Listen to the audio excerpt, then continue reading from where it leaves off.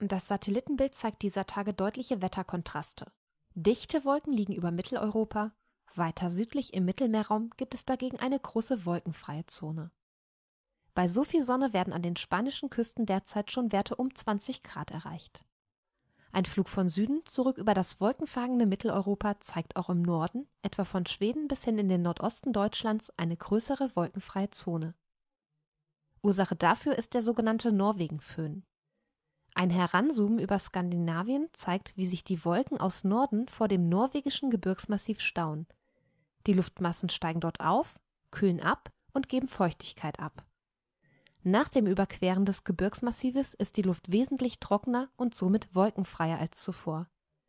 Dies äußert sich auch in der relativen Feuchtigkeit. Nördlich des Gebirges sind es noch über 80 Prozent, südlich nur noch 50 Prozent